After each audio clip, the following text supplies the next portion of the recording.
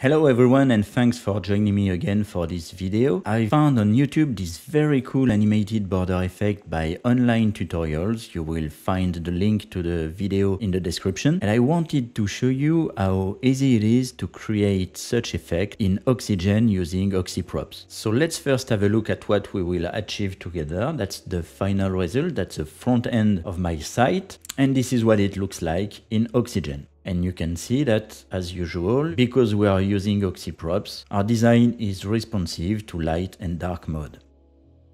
So let's start from scratch and delete everything. And to start with, let's add a new section. My section will have a height of 100 VH because I want it to be full height and I will apply the class super centered to center everything. In this section, let's add a div that will be our main card container and this div will have a height of size 15 and a width of size 14. The background color will be black, but with some opacity, I will apply a 70% opacity. I want it to have round corners so let's go to borders and add a border radius of 4. Perfect, our card is ready, so let's start building our animated radius. And for this we will need pseudo elements. They will be absolutely positioned, so my card needs to be position relative.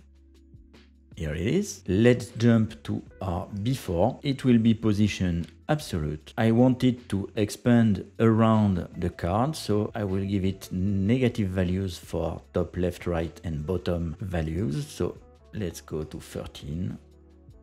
I will multiply by minus 1 to have a negative value.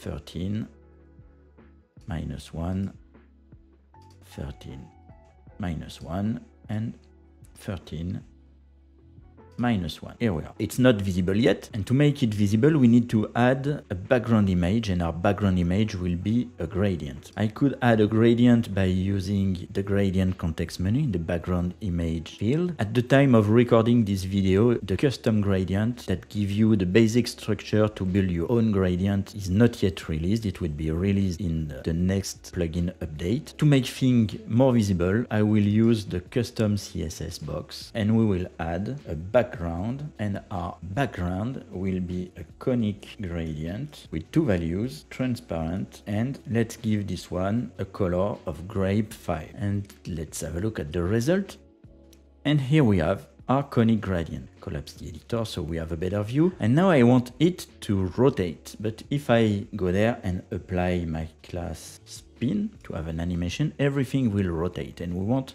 only our before element to rotate. So I will remove the class, go back to my custom CSS. Nothing is visible because I must make sure I select the before element. Here it is. And I will use my custom CSS context menu and add an animation of spin. Now only our gradient is rotating. It's a bit fast, so I will also add a duration of 4 seconds. That's much better. And I want also to reduce the colored area. So I will go back to my gradient and add stops to my gradient. Stops are the different colors through which passes our gradient. So I will add transparent three times. And now we have only a quarter of the surface that is colored. Perfect. Let's copy this code because we will need it in just a few seconds. And let's create now an after element. I will paste my code and this one will be lime. Of course, it's not visible yet because we need to give it a position of absolute and also make sure it expands over all sides. Minus one and the last one. And it's becoming visible and now it's positioned correctly. And I want them to be aligned opposite so let's go back to our custom CSS and we will give the after an animation delay of minus two seconds. It's not yet perfect, but that's because we need to save and refresh to make sure everything is synchronized. Just the time for Oxygen to load.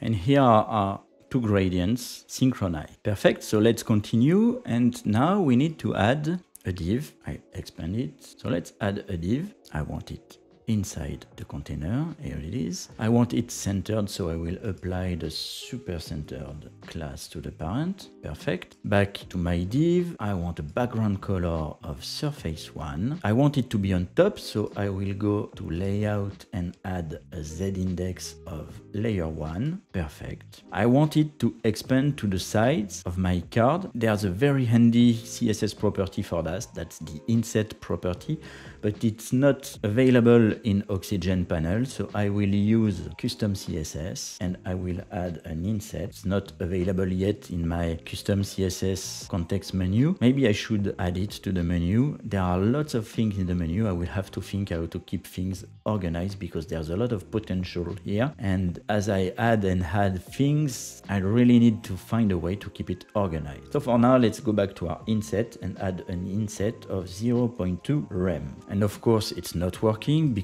I need my div to be positioned absolute. And here we are. So now we need a few things. We need to round the corners of this div and then we need to hide the overflow of the rotating gradients. So let's start with the corners. By going to my borders, I will add a border radius of 3, but that's not enough. If we look closely, they don't match. So to have my radius matching, I will multiply it by 1.8. And here it is, perfectly matching radius. And now I will go to the parent element, make sure I'm on the element itself, go to advanced, layout, and set the overflow to hidden. And how cool is that? We have our rotating borders. In this div, let's add a heading. The text will be O1 with a font size of font size fluid 8 that will be massive and I want it centered. So once again, I'll go to the parent and apply my super center class that centers everything. Here we are. And maybe the final touch will be to add a shadow to this container and I will add a class of shadow 6. And here we are, let's save and go to the front end. And here is our card with this very cool animated border effect. I hope you enjoyed. I've seen how easy and fast it is to create such a design with Oxygen by using Oxyprops CSS variables and Oxyprops context menu. As usual, tell me in the comments what you think. If you enjoyed the video, press the like button. If it's not done yet, consider subscribing to the channel and I'll see you in the next video.